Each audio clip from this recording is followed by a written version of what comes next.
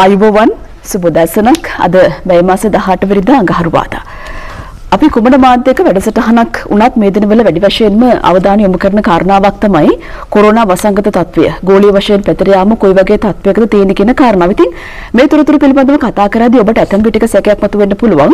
ලෝකයේ සිදුවන වැදගත් තොරතුරු අපිට මගහැරෙනවාද කියලා. නමුත් ඒ තොරතුරු සම්බන්ධයෙන් කතා බහ කිරීමේදී සිව්දස වැඩසටහන සම්බන්ධව නම් අපි ඒ තොරතුරු සහ කොරෝනා වසංගත තත්ත්වය සම්බන්ධයෙන් කතා කිරීමේදී මොනවද නවතුම තොරතුරු? ඒ කාරණාව නිසාම මග නොහැර ලෝකයේ පුරා අනිකුත් කාලීන වශයෙන් වැදගත් වන තොරතුරුත් සමබරව ඔබ වෙත ගෙනෙන්නට සූදානම්. ඉතින් අද දවසේදීත් එවැනි තොරතුරු බොහෝමයක් එක්ක අබුව පහමුවන් ඇවිල්ලා ඉන්නේ. ඒ තොරතුරු විශ්ලේෂණය කරන්න සුපුරුදු විදිහට අද සිව්දස මැදරේ ඉන්නවා ප්‍රවීණ විදේශ විත්ත විචාරක මාධ්‍යවේදී ප්‍රසාද් ඩංගොඩගේ. ආයිබෝන්. ආයිබෝන්. ඉතින් ඔබට මුලින්ම කිව්වනේ කාලීන වශයෙන් වැදගත් බොහෝ තොරතුරු සම්බන්ධයෙන් අපි කතා කරන්න සූදානම් කියලා. ඒ නිසාම ජාත්‍යන්තර මාධ්‍යයේ මේ දිනවල වඩාත්ම වැදගත් උණුසුම් පුවත සම්බන්ධයෙන් අපි පළමුවෙන්ම කතා කරන්න සූදානම්. ගාසා තීරයේ ගැටුම් පිළිබඳව ඊශ්‍රායලය සහ පලස්තීනය මූලික කොටගෙන දැන් මේ දෙරටේ ගැටුම් අතර නව ගැටුම් පිළිබඳව කතා කිරීමේදී දින ගණනාවක් සම්බන්ධයෙන් කතා කරන්න තියෙන්නේ. නමුත් දශක ගණනාවක ඉතිහාසයක් තිබෙනවා මේ ගැටුම් වලට.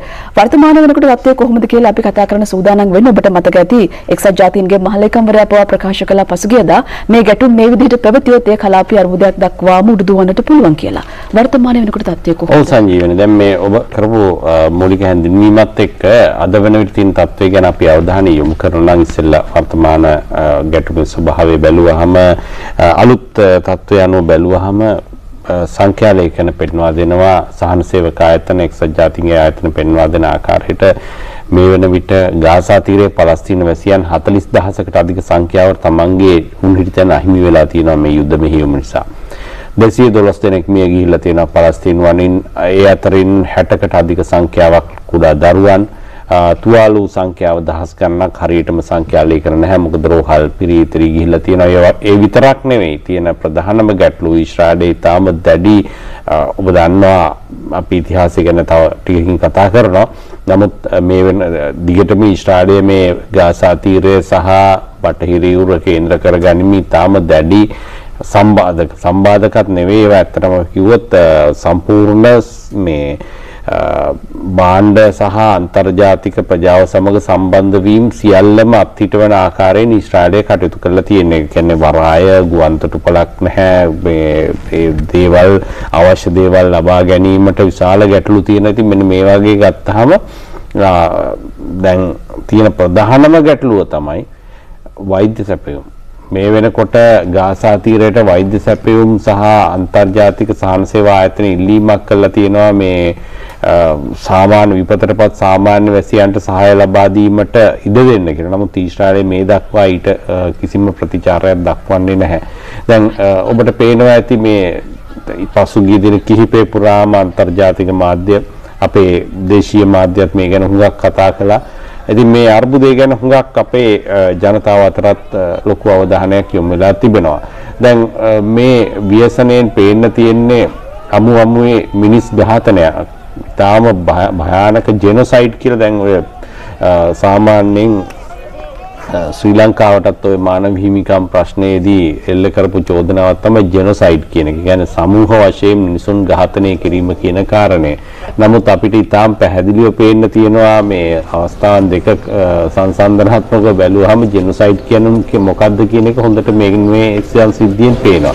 ඒ කියන්නේ කොටු කරගන්නාලා සාමාන්‍ය වැසියන් පිරිසකට ඊටාම දරුණු ආකාරයෙන් කිසිදු ආධාරයක් නොදී මේ ආකාරයෙන් තාම තිරස්චීන විදියට පහර දී විනාශ කිරීම කියන කාරණය තමයි අපිට මේ ජෙනොසයිඩ් කියන එක ඊටාම සරල වාර්තා දක්වන්න පුළුවන් මේ ඊශ්‍රායල සංසිද්ධිය පදනම් කරගනිමින්. මොකද දැන් ගාසා තීරය සහ බටහිර යුර කියන ප්‍රදේශ දෙකම ගත්තාම මේ පලස්තීනයේ දැනට ඉතිරිලා තියෙන කොටස් විතරයි. එම කොටස් දෙක තුල මේ වෙනකොට පවතින තත්ත්වයේ ඊටාම ඛේදනීය තැනකට ඇවිල්ලා තියෙන්නේ. මොකද මේවා ඊටාම ජනාකීර්ණ ප්‍රදේශ. ඒ වගේම අපිට පේන්න තියෙනවා දැන් අලුත් තත්ත්වය ගැන කතා කරනවා ඊයේ දින ඊශ්‍රායලය සඳහන් කරා ඔවුන් මේ වෙනකොට අවධානය යොමු කරලා තියෙන්නේ මෙහෙයුම් වලදී හමාස් සංවිධානය සටන්කාමීන් පාවිච්චි කරන ওই ගාසා තීරය පාලනය කරන හමාස් සංවිධානය හමාස් සංවිධානයේ සටන්කාමීන් පාවිච්චි කරන සංගවී සිටීමට සහ අවි ගබඩා අවි අවි ගබඩා කිරීමට පාවිච්චි කරන උමම් පද්ධති ඉලක්ක කරගනිමින් පහර දෙන්නට ක්‍රියා කරගෙන යනවා කියලා. හැබැයි එම එම පුවතත් එක්ක එම ප්‍රකාශයත් එක්ක අපිට පැහැදිලිව පේන්න තියෙනවා ඊශ්‍රායලයේ මේ වෙනකොට යොදා ගන්න බලාපොරොත්තු වෙන සහ යොදා ගනිමින් සිටිනවා අර බංක බස්ට කියලා හඳුන්වනවා. එහෙමත් නැත්නම් මේ දැවැන්ත ඝනකම කොන්ක්‍රීට් විදගෙන යාමට ගිහිල්ලා පුපුරවන්න පුළුවන් බෝම්බ විශේෂයක් තියෙනවා බංක බස්ටර් බොම්බ්ස් කියලා හඳුන්වන්නේ. මේ මේ බෝම්බ පිපිරීමක ප්‍රතිඵලය ඊටාම බිහිසුණුයි. මේවා මුලින්ම අත්දැක්කේ ගල්ෆ් යුද්ධයේදී ඇමරිකානු හමුදාව පාවිච්චි කළා සදාම් හුසේන්ගේ බංකර් කඩන්න කියලා පාවිච්චි කළා.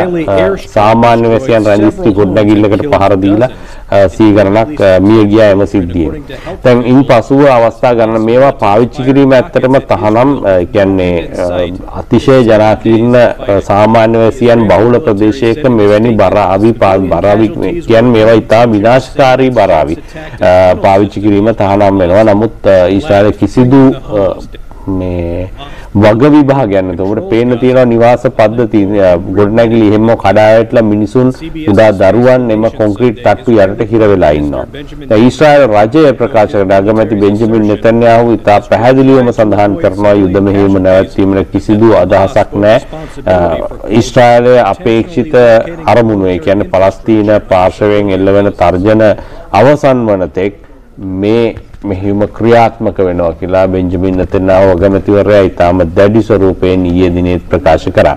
ඉතින් මේ අනුව අපිට පේන්න තියෙනවා ඊශ්‍රායලය තමන්ගේ කටයුතු තාම අවසන් කළා නැහැ. අවසන් කරන ලකුණක් පේන්නත් නැහැ. ඉතින් ඒ අනුව බැලුවහම අ, ගාසා තිරඹට දැන් දැක් ගන්න පුළුවන් මේ අන්තර්ජාතික මාධ්‍ය ආයතන රැඳී සිටි ගොඩනැගිල්ල මේක අවස්ථා ගණනාවකදී මේ දර්ශනය විකාශය වුණා මාධ්‍ය තුලින්.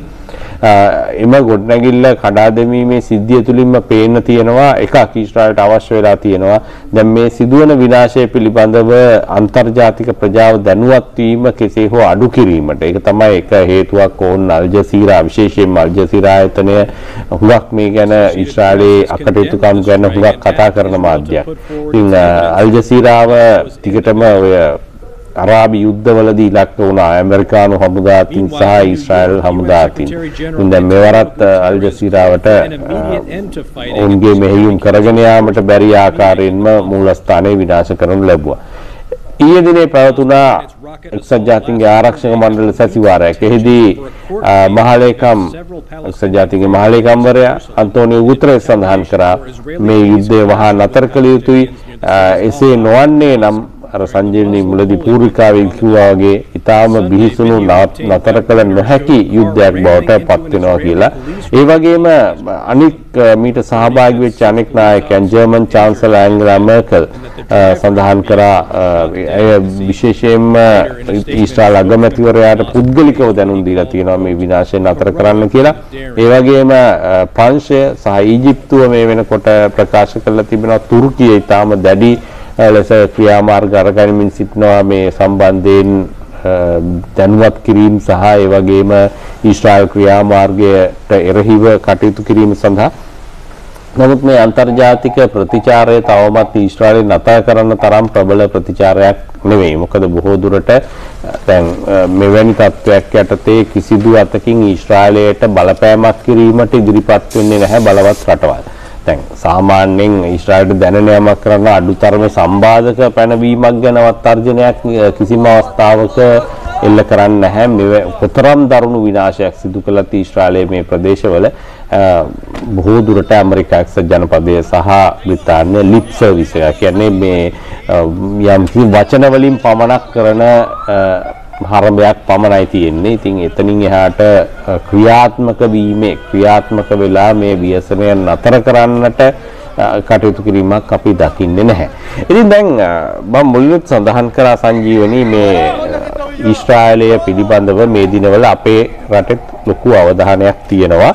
අ, මොකද මේ ගැන මේ එකක් තමයි මේ දර්ශන දිහා බැලුවාම වීඩියෝ දර්ශන දිහා බැලුවාම සමගියම අවධානය යොමු වෙනවා. මොකද මෑත කාලීනව අ, සාමාන්‍ය වැසියන් ඉලක්ක ගනිමින් ඔවුන්ගේ අ, ගොඩනැගිලි නිවාස පොළොවට සමතලා කරමින් අ, කැමරා ඉදිරිපිට සිද්ධ වෙච්ච මෙවැනි යුද්ධයක් මෑත කාලීන ඉතිහාසයේ නෑ. ඒ නිසා මේ දර්ශන දිහා දුටුවාම ඕනම කෙනෙක්ගේ අවධානය ඊට යොමු වෙනවා. ඉතින් මේ ගැන මේ දිනවල අපේ සමාජය තුලත් ලොකු අවධානයක් තියෙනවා මේ ඊශ්‍රායල් පලස්තීන සංසිද්ධිය පිළිබඳව හුඟක් අ, Facebook සටහන් අපිට දකින්න ලැබෙනවා.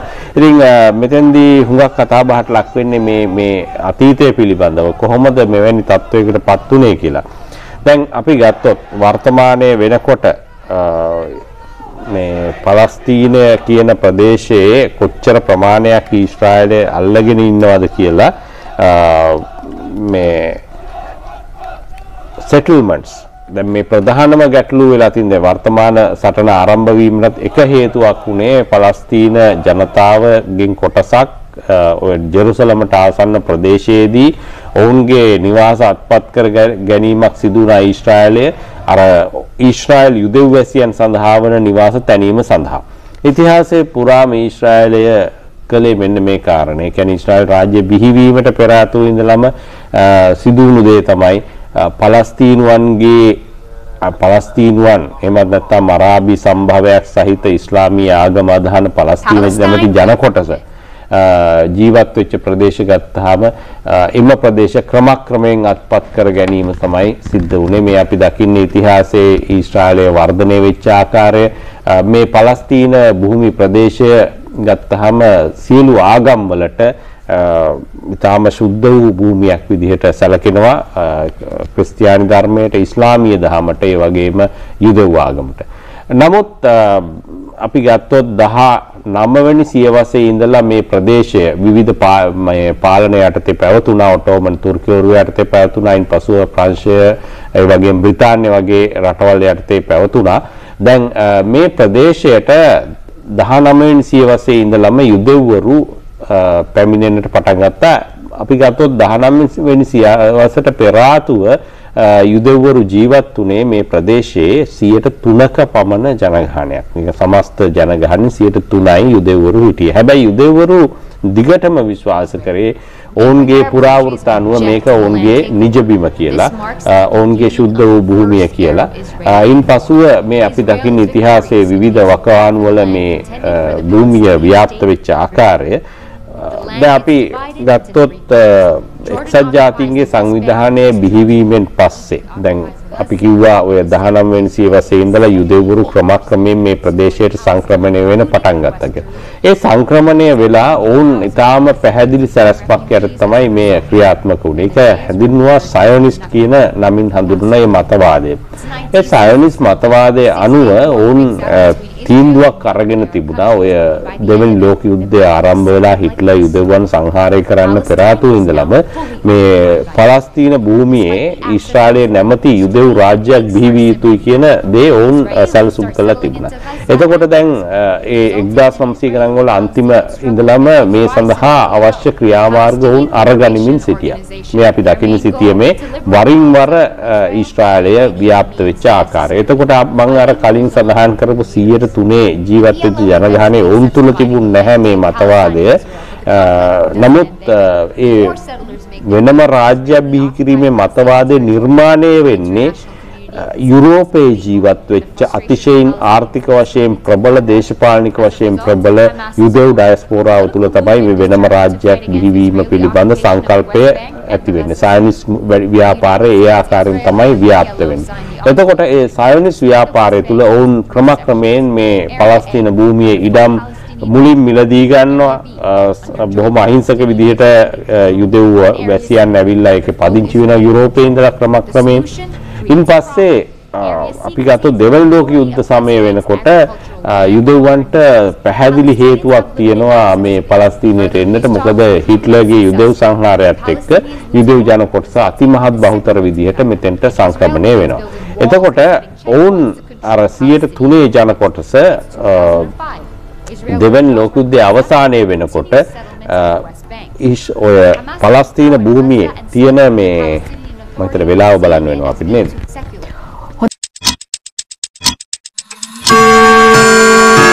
ලැක්ටග්‍රෝ කෝෆි ප්‍රෝ සතුටින් සිටින්නයි සතුටින් වැඩෙන්නයි. from Nestle. and this is the current situation. ඔව් අපි කතා කරමින් සිටියේ ඉතිහාසය පිළිබඳව.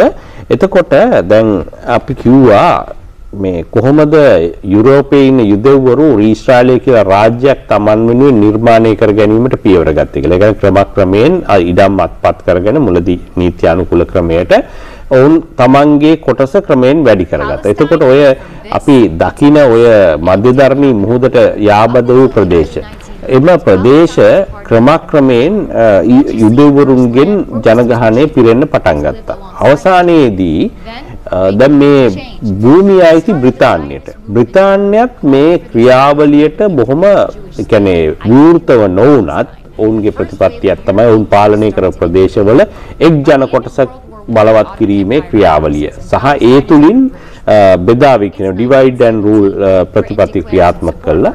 අර ජන කොටස මේ සන්නද්ධ කරනවා එහෙම නැත්නම් බලවත් කරනවා ඒ රට ඒ ප්‍රදේශය තුල යම්කිසි ආකාරයක බෙදීමක් සඳහා. මේක ඉන්දියාවේ ක්‍රියාත්මක වුණා ලංකාවේ ක්‍රියාත්මක වුණා මැලේසියාවේ ක්‍රියාත්මක වුණා. මේ ඩිවයිඩ් ඇන් රූල් එක පලස්තීනයේත් ඒ ආකාරයෙන්ම ක්‍රියාත්මක වුණා. බ්‍රිතාන්‍යයන් අර අරාබි පලස්තීනවරුන්ට නෙමෙයි සහාය දැක් ඔය යුදෙව්වරුන්ට. එතකොට යුදෙව්වරුන්ට සහාය දක්වද්දී වෙච්ච දේ තමයි ක්‍රමක්‍රමයෙන් ඔවුන්ට අ, ඉඩකඩ ලැබුණා මේ පලස්තීන භූමිය අත්පත් කරගන්න.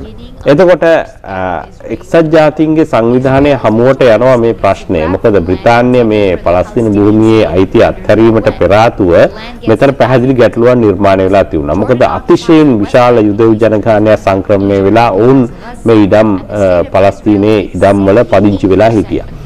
එතකොට අ, අවසානයේදී 1945 එක්සත් ජාතික සංවිධානය දෙවන ලෝක යුද්ධය අවසන් වෙලා එක්සත් ජාතික සංවිධානය බිහි වුණාට පස්සේ එක්සත් ජාතික සංවිධානය හමුවට යෝජනාවක් එනවා. 1947 දී එළ- එළඹෙන මේ යෝජනාවෙන් ඉදිරි- අ, සඳහන් කරන්නේ අ, යුදෙව්වරුන්ට සහ පලස්තීනවරුන්ට වෙනම රාජ්‍ය ඒ කියන්නේ රාජ්‍ය දෙකක් මේ භූමියේ ඇති කළ යුතුයි කියලා.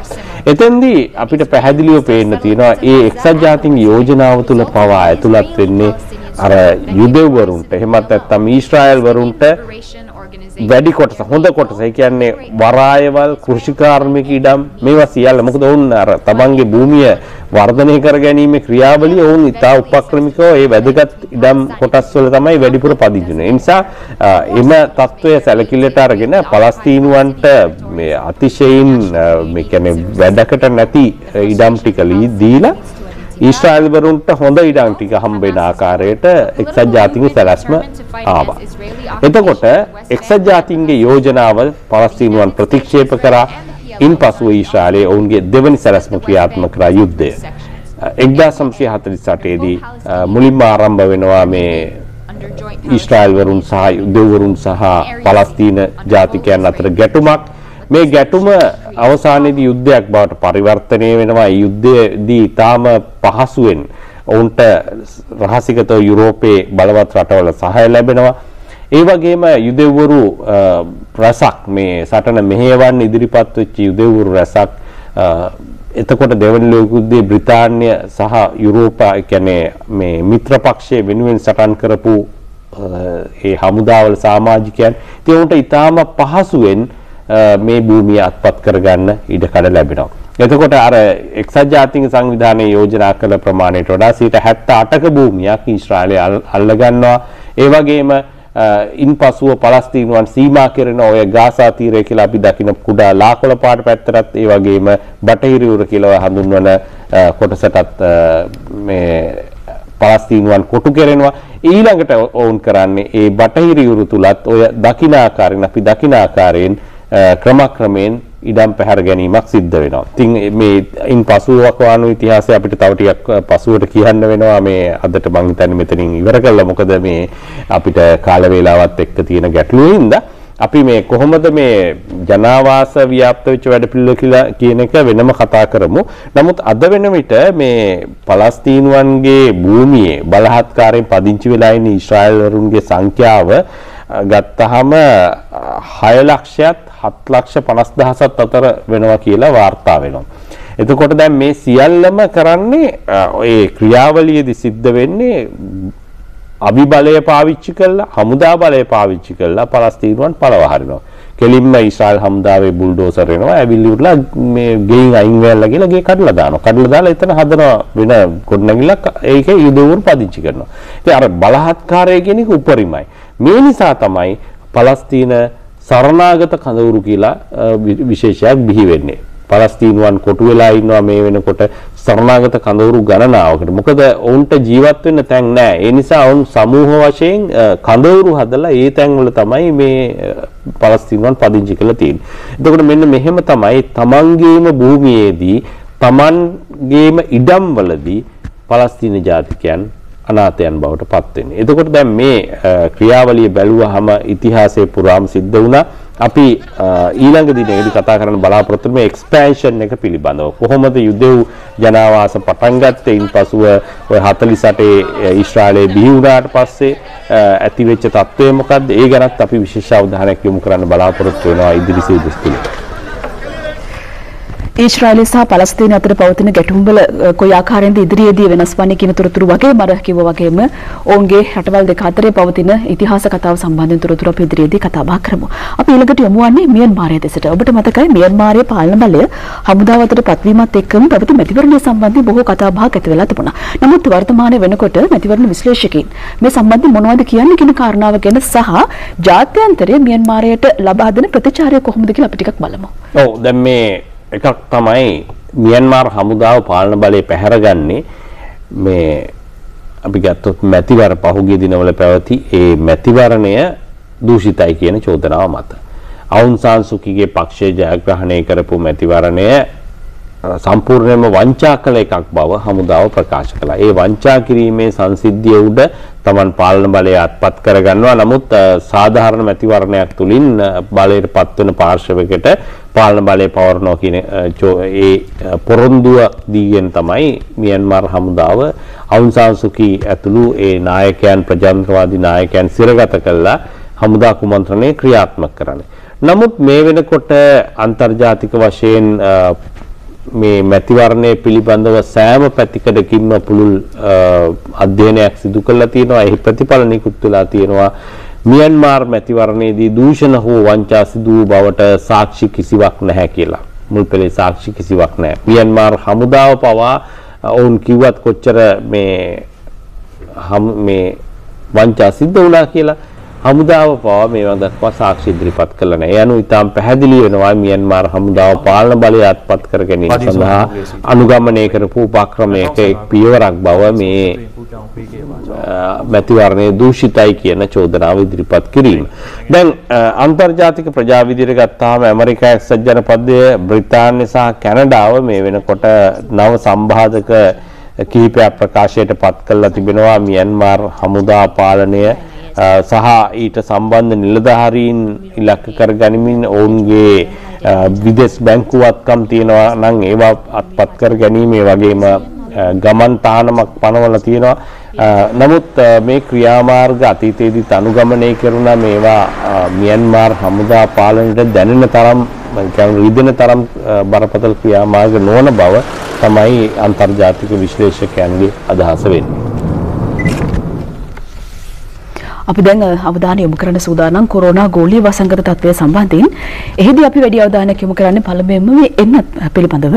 බ්‍රසීලයට එන්නත් නිෂ්පාදනය සඳහා අවශ්‍ය අමුද්‍රව්‍ය ලබා දීමට චීනයේ සූදානමක් තිබෙනවා. මොකක්ද මේ තොරතුර? ඔව් ඇත්තටම සංජීවනි දැන් චීනය ඔවුන්ගේ සයිනෝෆාර්ම් සහ සයිනෝවැක් කියන එන්නත් දැන් සයිනෝෆාර්ම් මෙතන එන්නත ශ්‍රී ලංකාවෙත් බහුල වශයෙන් ලබා දෙනවා. චීනය සූදානම් දැන් අපි දන්නවා එන්නත් කරන්නේ සම්බන්ධයෙන් ලොකු ගැටලුවක් මේ දිනවල තියෙනවානේ. එන්නත් වල අයිති එන්නත් වෙනත් තැනක නිෂ්පාදනය කරන්න දෙනවට බටහිර ඖෂධ සමාගම් ලොකු විරෝධයක් දක්වනවා.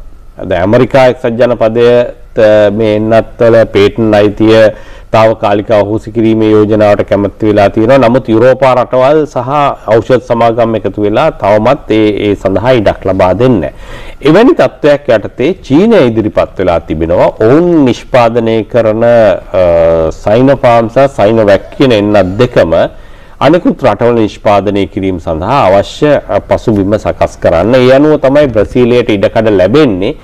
බ්‍රසීලයේ මේ එන්නත් නිෂ්පාදනය සඳහා හැබැයි අපි අමතක නොකළ යුතුයි මේ සයිනෝෆාර්ම් සහ සයිනෝවැක් කියන එන්නත් මුලින්ම අත් කියන්නේ පරීක්ෂණ කටයුතු සිදු කළෙත් අ, බ්‍රසීලයේ. බ්‍රසීලයේ අ, ස්වේච්ඡා අ, සේවකයන් ස්වේච්ඡාවෙන් ඉදිරිපත් වූ කණ්ඩායම යොදා ගනිමින් තමයි අ, මේ සයිනෝෆාර්ම් සහ සයිනෝවැක් එන්නත් අත්හදා බැලීම් සිදු කෙරුණෙත්. එතකොට දැන් ඒ අනුව බ්‍රසීලයේ මේ මොකද අපි දන්නවා බ්‍රසීලයේ ඊටාම බිහිසුණු අවදානමක ඉන්නේ මේ කොරෝනා ව්‍යාප්තිය නිසා.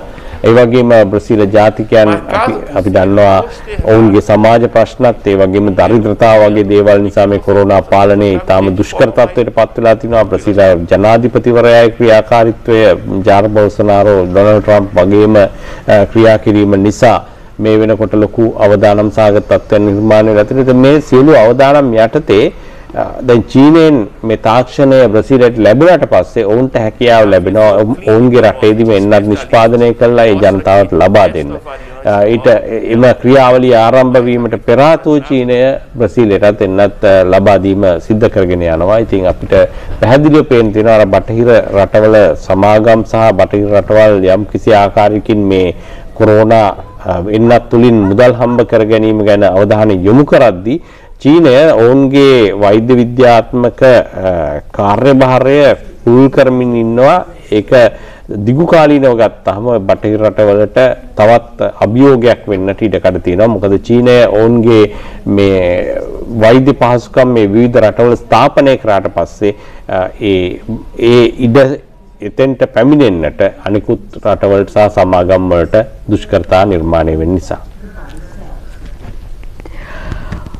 හොඳයි ඒ තොරතුරුත් එක්ක අපිට සමගට යන්න කාලය හරි අපි අවසාන වශයෙන් ඔබට නැවතත් මතක් කරනවා COVID-19 රෝග ව්‍යාප්තිය පාලනයට අවශ්‍ය කරන සහයෝගය ඔබත් සෞඛ්‍ය අංශ වලට ලබා දෙමින් දෛනික කටයුතු සිදු කරන්න කියන කාරණාව. ඉතින් අද මේ තොරතුරු විශ්ලේෂණය කරන්න සුදස මැදිරිය දෙක තුනේ ප්‍රවීණ විදේශ විත්ත විචාරක මාධ්‍යවේදී ප්‍රසාද් දොඩංගොඩගේ අයිබෝන් ඔබට. අයිබෝන්.